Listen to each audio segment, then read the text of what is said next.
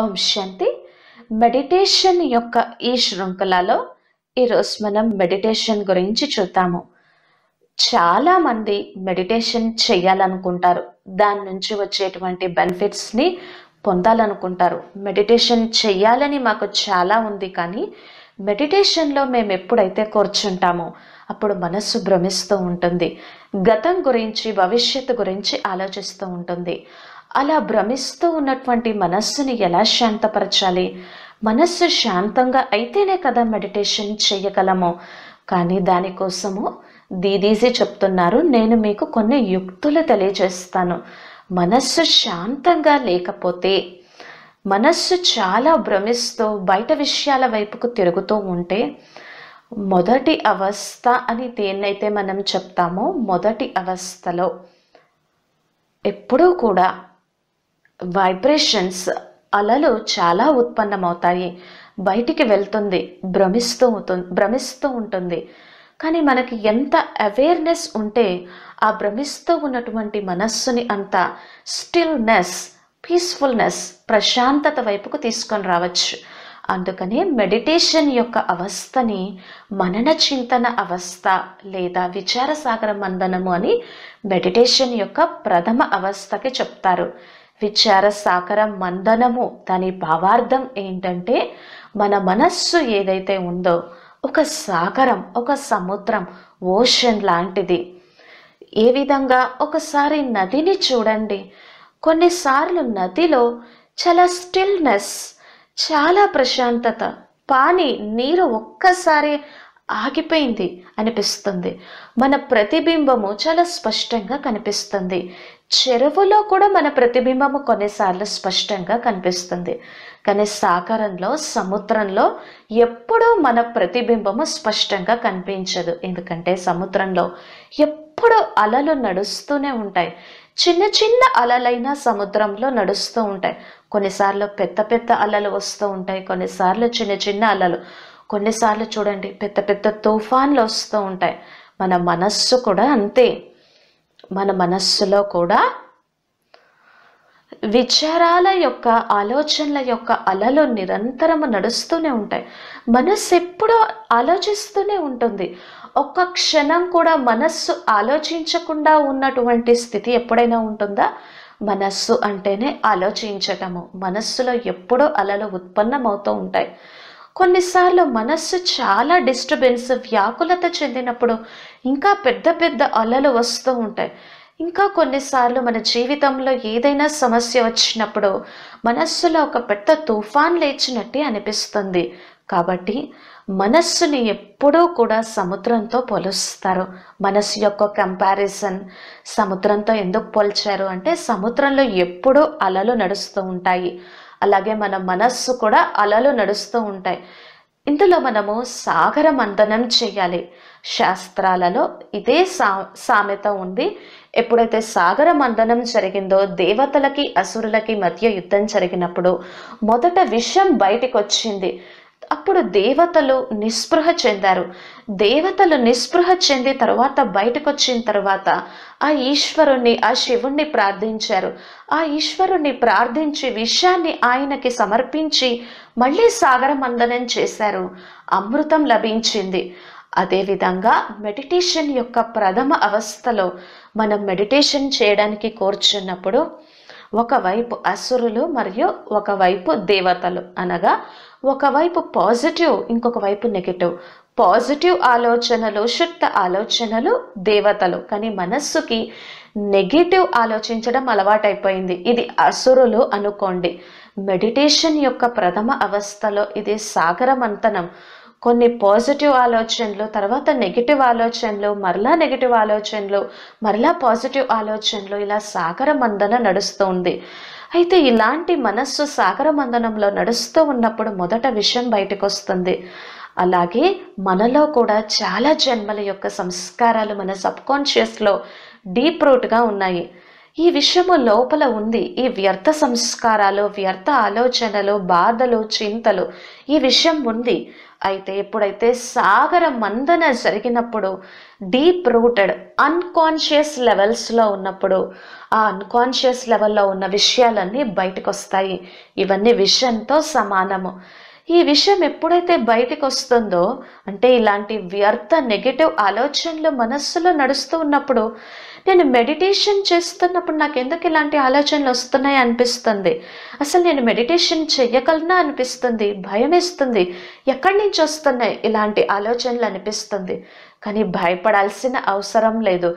ఈ విషయం ఎప్పుడైతే బయటికి వస్తుందో ఎందుకంటే మనస్సుకి నాలుగు అవస్థలు ఉన్నాయి. ఒకటి కాన్షియస్ లెవెల్ ఇంకొకటి సూప్రా కాన్షియస్ లెవెల్ చాలా హయ్యెస్ట్ స్టేజ్ ఉన్నతమైన స్థితి. దాన్ని మనం అనుభవం చేసుకోవాలి. తరువాత సబ్ కాన్షియస్ లెవెల్. ఆ తర్వాత ఇంకా deep రూటెడ్గా unconscious level. Conscious subconscious unconscious supra conscious unconscious అంటే ఎన్నో జన్మల యొక్క సంస్కారాలన్నీ డీప్ రూటెడ్గా ఉన్నాయి. సాగరంలో ఎలాగ వస్తువులు కింద పడి ఉంటాయో అన్కాన్షియస్లో కూడా ఇవన్నీ ఉన్నాయి. సాగరం అందన జరిగినప్పుడు అన్నీ బయటికి వస్తాయి కదా. అలాగే మన అన్కాన్షియస్లో ఉన్న సంస్కారాలు ఆలోచనలన్నీ బయటకు వస్తూ ఉంటాయి. సాగరం అందన జరిగినప్పుడు మొదట విషయం బయటపడ్డట్టు. మనకి కూడా ఎన్నో నెగిటివ్ ఆలోచనలు వస్తాయి. కానీ భయపడాల్సిన అవసరం లేదు. శివ పరమాత్మని ఆహ్వానించాలి. పరమాత్మ తండ్రిని స్మరణ చేయాలి. ఆయన్ని ఆహ్వానించాలి. ఆయన్ని జ్ఞాపకం చేయాలి. ఆయన్ని జ్ఞాపకం చేస్తూ మన మనస్సులో ఉన్న చింతని బాధని నెగిటివిటీని దుఃఖాన్ని అశాంతిని పరేషాన్ని ఆయనకి సమర్పణ చేయాలి. అందుకనే శివాలయంలో శివుడికి గులాబీ పుష్పాలు ఏమి పెట్టరు.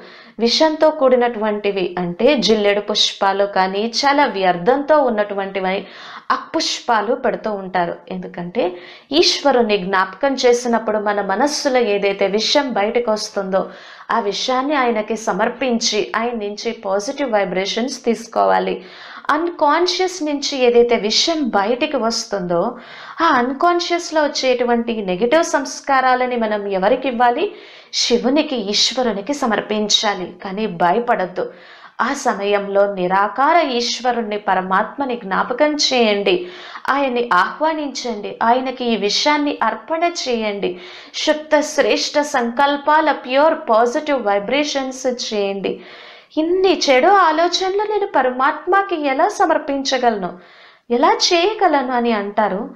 భక్తిలో కూడా మనం చేస్తూ వచ్చాం కదా. జ్ఞానంలో కూడా ఈశ్వరునికి మనం సమర్పణ చేయొచ్చు. ఈశ్వరుడు సంతోషంగా స్వీకరిస్తాడు. ఈశ్వరుడు సంతోషించి మనకి శక్తిని ఇస్తాడు.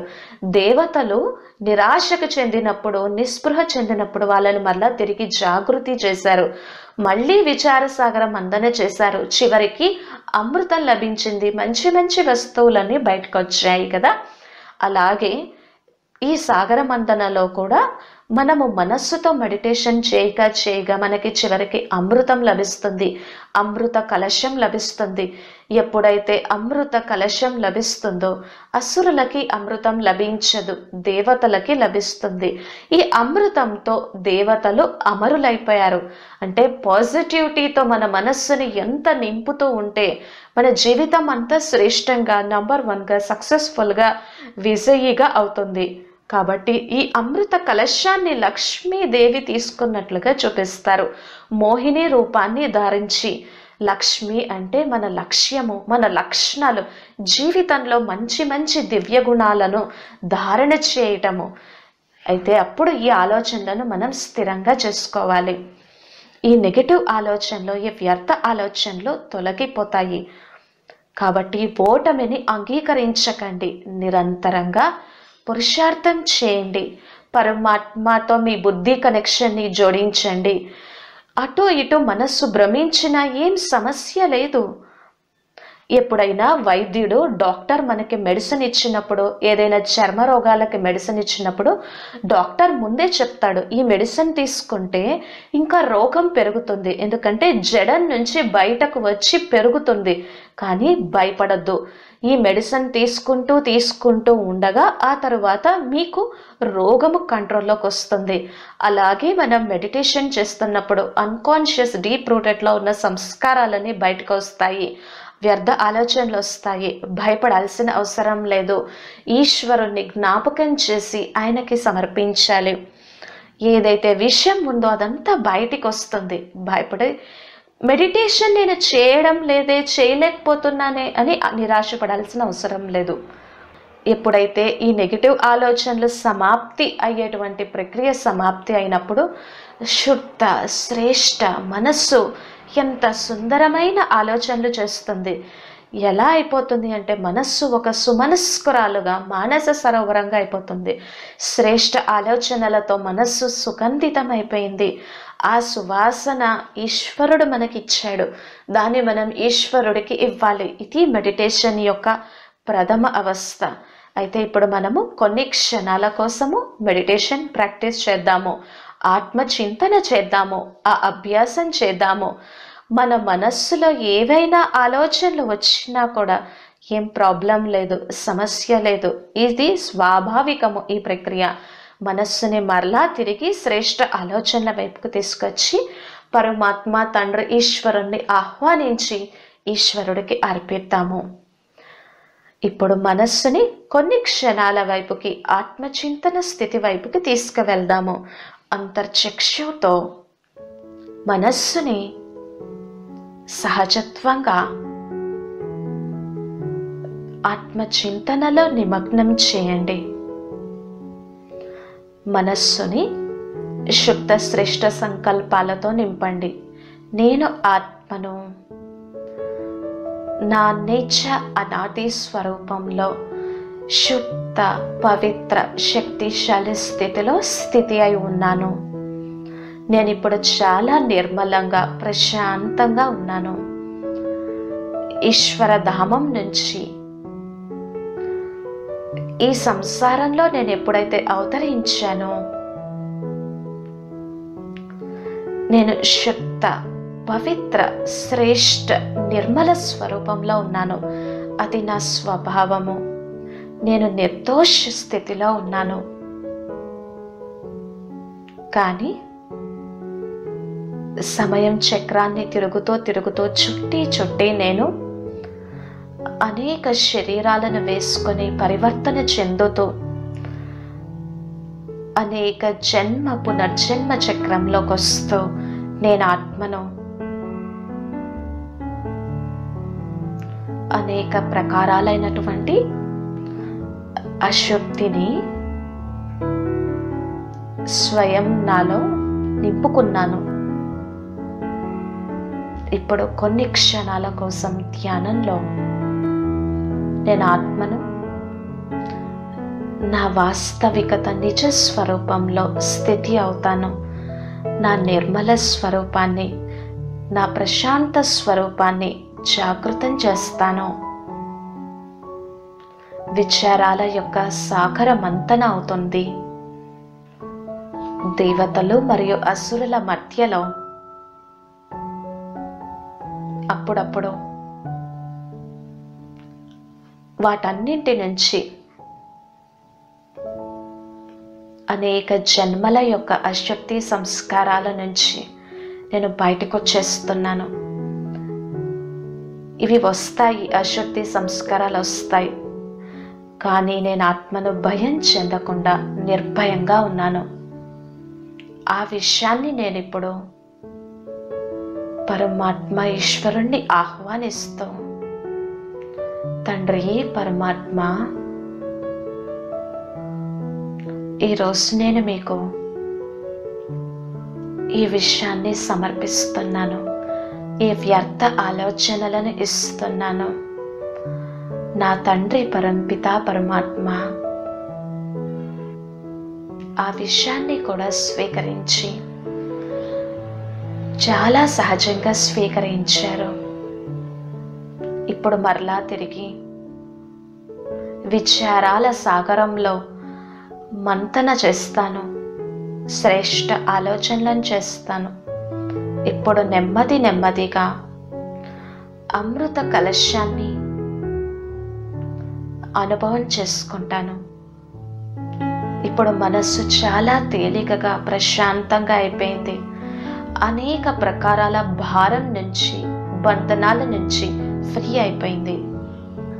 ఇప్పుడు మనస్సు చాలా లైట్నెస్ని అనుపూర్తి చేసుకుంటుంది. ఇప్పుడు నేను ఈశ్వర సాన్నిధ్యంలో ఈశ్వరుడి తండ్రితో అనుభవం చేసుకుంటున్నాను. ఓం శాంతి